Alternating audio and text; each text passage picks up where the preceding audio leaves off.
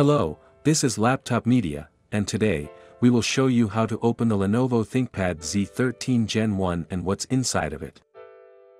To get inside this notebook, you need to undo 5 captive Phillips head screws.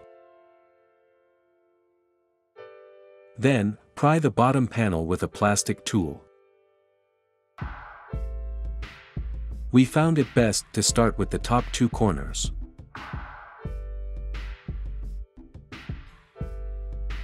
Please remember, it would be of great help to us if you just hit the like button and subscribe to our channel. That would motivate us to make even more and better videos for you. Inside, we see a 51.5 watt-hours battery pack. It lasts for nearly 23 hours of web browsing, or about 16 hours of video playback. You can take it out by undoing 6 Phillips head screws.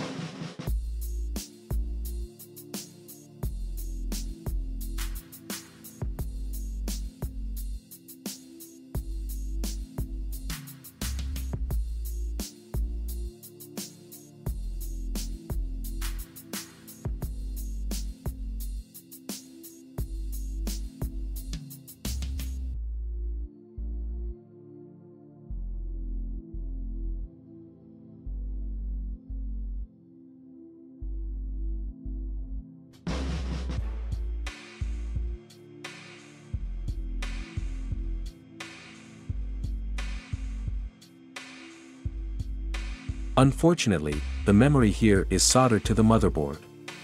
You can choose between configurations with 16 or 32 GB of LPDDR5 RAM, running at 6400 MHz in quad-channel mode.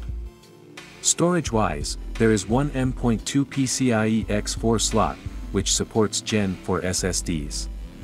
To access the slot, you need to remove the metal heat spreader, which is held in place by two Phillips head screws.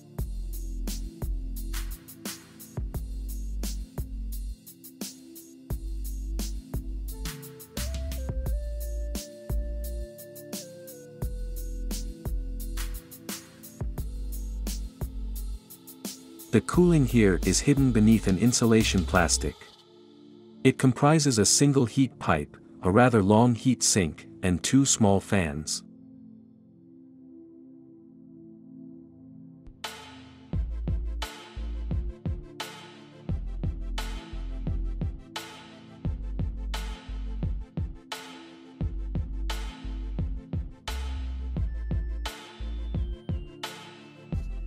If you'd like to see more disassembly videos of the latest notebooks we would highly appreciate if you hit the like button and subscribe to the channel.